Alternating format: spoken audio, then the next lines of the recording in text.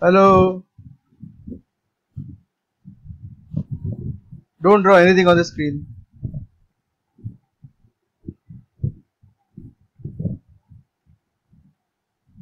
Let me do this real quickly.